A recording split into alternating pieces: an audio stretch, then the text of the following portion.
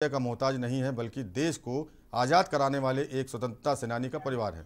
और अपनी मांगों को लेकर कई दिनों से तहसील के बाहर अपने परिवार के साथ धरने पर बैठा है, जो प्रशासन ने इस परिवार से वादे किए थे।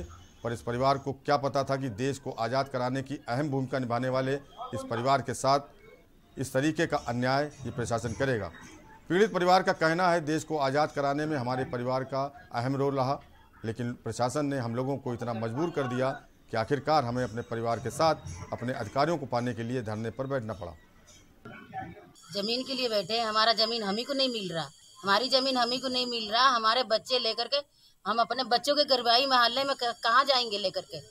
चटाई लेकर बैठी हूँ। था, यहाँ पे तहसील के सामने रोड में पड़े रहते हैं। रोटी खाएँगे, घर रहने तक का कोई व्यवस्था सरकार ने हम लोग को नहीं करा, जबकि हमारे ससुर जेल में थे।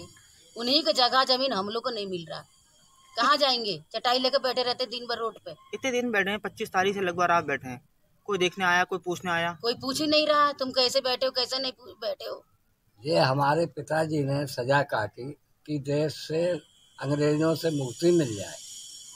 लेकिन हमें तो ये दिखाई दे रहा है कि हमें मुक्ति नहीं मिली। है? हम तो उसी हाल में हैं। उनकी सजा सात साल की हुई सात बेस जुर्माना हुए। हैं? और हमें आज तक कोई ज़मीन प्रदान नहीं करी इन लोगों ने। हैं? तो हमारे लिए तो ऐसा ही लगता है कि अंग्रेज़ लोग बैठे। और